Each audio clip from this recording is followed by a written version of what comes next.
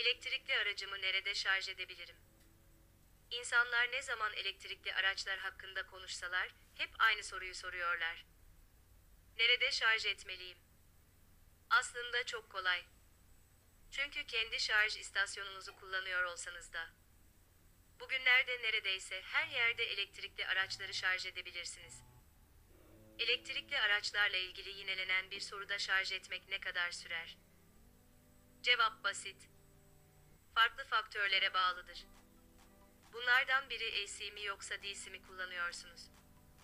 AC alternatif akım anlamına gelir. Bu genellikle elektrik aldığınız elektriktir.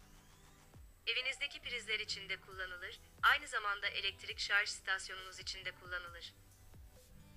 Burada çoğu halka açık şarj istasyonunda. Şarj kapasitesi genellikle pil olarak 22 kilowatt'a kadardır. Akü aslında sadece DC, yani doğru akımı kabul edebilir. Her aracın içinde yerleşik bir şarj cihazı vardır. Bu şarj cihazı, alternatif akımı akü için uygun olan doğru akıma dönüştürür. DC ayrıca yüksek performansla kısa süreli hızlı şarjı kolaylaştırır. İşin püf noktası şudur. DC, elektriğin AC'den DC'ye dönüşümü, şarj istasyonunda zaten oluyor. Fazla performansın mevcut olduğu ve daha fazla performansın, daha kısa şarj süreleri anlamına geliyor. Avrupa'da bunun için özel hızlı şarj istasyonları var. Ayrıca şarj süreleri de pilin boyutuna bağlıdır.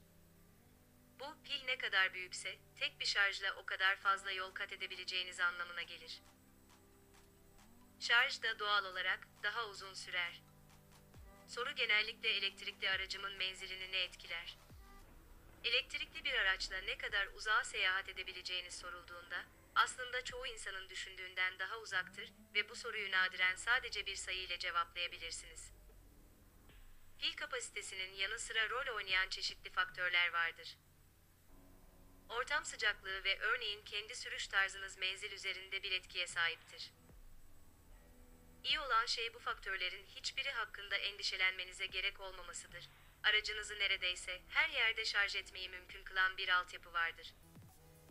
Bu da seyahat edebileceğiniz anlamına gelir. Endişelenecek bir şey olmayan, daha uzun mesafeler. Artık hiçbir şey bir sonraki uzun yolculuğunun önünde duramaz. Hak ettiğin bir tatil. Belki de